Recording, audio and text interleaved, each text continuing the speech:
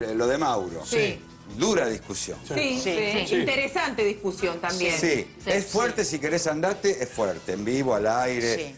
Se puede decir que desacreditas un poco al colega. Eh, Ustedes saben que acá, ¿cuánto hace que estamos? Hace años que estamos juntos. Sí. Sí. Jamás yo y- y- y- intenté imponer una idea. Digo, No. la discusión Sí, es no. libre y, le dejo la última palabra. No sé si se le dice al conductor cómo tiene que hacer periodismo. No. Ahí, ese es el límite. Sí.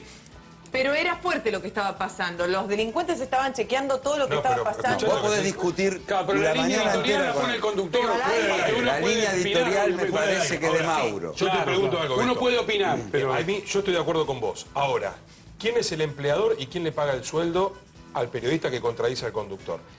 Eso, digamos, que tenga razón el conductor en esto que vos decís, ¿le da la atribución de decirle vos te quedás sin laburo? ¿O es algo que se tiene que...? No sé si lo estaba despidiendo. Sí, le dijo. Si no te- Andate, no vengas más.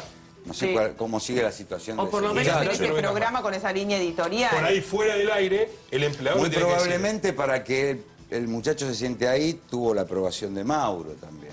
A veces Tampoco esto le da el derecho de... Sí. yo- la verdad digo, él es prolijo, yo le tengo mucho aprecio a Mauro y, y- y él me, me ayudó mucho también cuando yo recién empezaba en la tele, así que siempre voy a estar agradecido y es su profesional del carajo. Sí. Eh, en estas instancias se saca. Se emociona porque además tiene mucha pasión por la profesión y lo vive así y, y así ha hecho 25 puntos también en sea, pero era interesante lo que le estaba policiales. planteando el Ahora, a mí me parece policiales. que no se le puede plantear, o por lo menos a Mauro, si me lo sé a mí por ahí me río, yo qué sé, eh, cómo hacer periodismo, porque el pibe no le estaba planteando una discusión No, le estaba haciendo como un piquete frente y a vos tenés su que hacer periodismo de otra forma, le estaba diciendo. Yo entiendo el enojo de Mauro. No, pero yo, enti- yo entiendo también lo que le estaba planteando el chico, como que hay determina el periodista, hay determinado límite, los, los delincuentes estaban mirando No, en ese momento la todos, tele. Eso lo entendimos todos, pero no era eso el es como que los, estaba tema- tentando, o sea, No, como que va demasiado al riesgo, va demasiado... Mauro no ponía el deba- esto en debate. Mauro estaba haciendo su editorial y relataba. No estaba para debatir con los panelistas. Claro.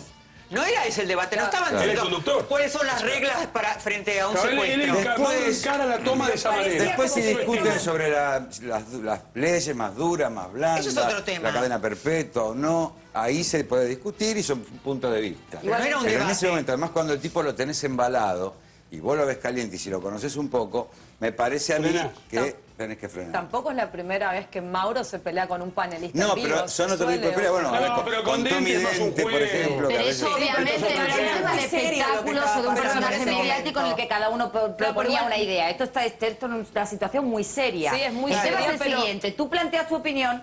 Si el conductor no te da pie, no puedes continuar la discusión al aire. No, pero hay cosas que Y si realmente, pero que para- y además más si o menos realmente cuál no es la línea editorial. Pero, del Pero no si tú no estás de acuerdo con la personal. línea Otras editorial veces Mauro lo descalifica en lo personal.